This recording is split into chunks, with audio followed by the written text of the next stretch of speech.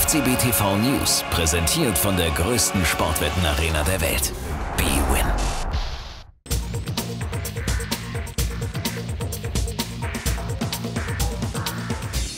Thomas Müller freute sich gestern schon auf den freien Tag heute, was aber nicht für alle gilt. Eine kleine Gruppe war fleißig unterwegs, unter anderem der Länderspielrückkehrer Dante.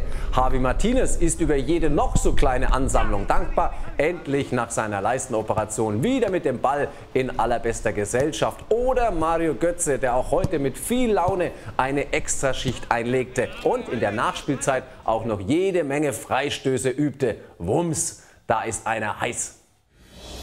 Wir sind jetzt gerade erst von der Nationalmannschaft wiedergekommen. Ich glaube, ähm, der Trainer wird entscheiden, wer spielen soll. Ich bin auf jeden Fall, äh, bin auf jeden Fall fit, habe 45 Minuten gespielt. Ähm, ich möchte natürlich um, möglichst immer mehr spielen. Es ist klar, wer, wer, das nicht möchte, der ist auch irgendwo fehl am Platz. Ähm, deshalb, ich freue mich einfach auf die, die kommende Zeit, auf die, auf die drei Heimspiele, die wir jetzt haben. Und äh, da müssen, wollen wir natürlich möglichst wieder unser Bestes bringen.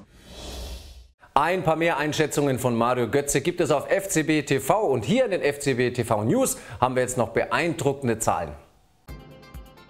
Wartezeiten auf Autogramme sind vorbei. Ab sofort gibt es diese digital. Einfach auf der Homepage den gewünschten Spieler anklicken und im Profil die Autogrammkarte abrufen.